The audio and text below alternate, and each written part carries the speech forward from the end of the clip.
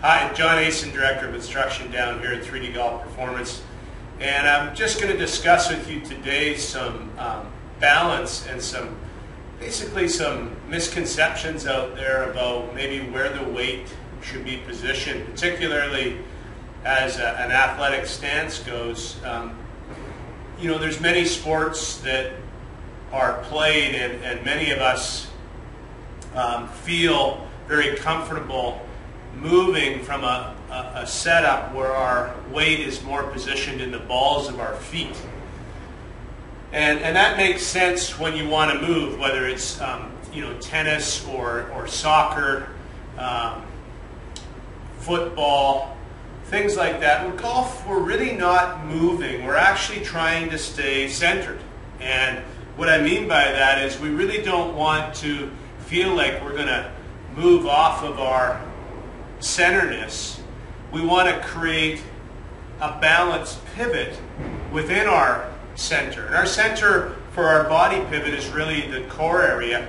And we want to make sure that when we set into our stance, the weight isn't too much forward. We actually want to create a little bit more of an ankle, almost arch to heel area so that our hips are aligned with our ankles and our heels because they're creating the, the pivot. All right? It, it's common for us to, um, you know, set up on the balls of our feet, or even some people a little bit more toe oriented, because we have to bend forward from the hips. The key is is make sure that the backside is out enough so that the alignments take place. And again, you'd be looking down the line, not face on, because my feet may be a little bit outside of my hips. Therefore, the alignment of my hips aren't exactly over my ankles from this perspective. But from down the line, the whole key is is trying to position the weight to somewhat um, a counterbalance the amount of force that's going to be taking place as we swing down and out there's going to be a lot of force going forward. And we may get our weight going traveling forward. Matter of fact, I know that that is the case, that the weight is traveling forward, but we're also rotating our left hip away from that force to help, again, stay more center balanced. And literally, that opposing force against the motion of the arms and hands keeps us in that balanced pivot to our finish swivel. So keep this in mind and try to go through a nice step-by-step process to get to the ball the same way. And what I suggest is always a, a, an approach where you've set up, you've bent forward from the hips with the club shaft alignment and your elbow alignment in, in place already so that when you bend forward, this forward bend is always the same. This is a condition where that posture, that spine angle, and then I can bring my, my feet in like that, and I know I can feel where my weight is distributed. From here, of course, our right hip pullback puts more of the center of the balance into that heel ankle area for our backswing pivot.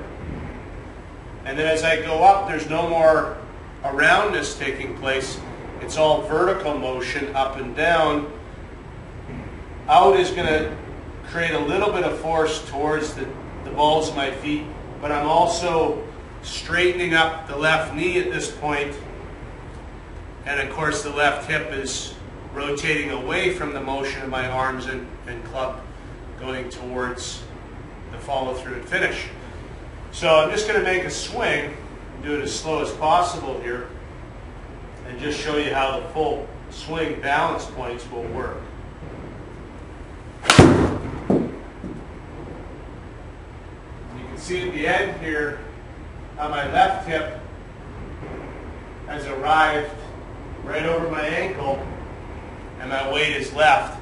And another great way to look at this is that this, these joints are designed to move like this. Your knees are not, so we want to make sure that your knees, when you hit the golf ball, your, your left knee needs to be straight and obviously neutral alignment so that your hip can rotate and provide space for the arms and club and, and the follow through to, to actually happen in more of an uninhibited flow versus something where you would be outside of your ankle and creating a lot of weight distribution towards the balls of your feet.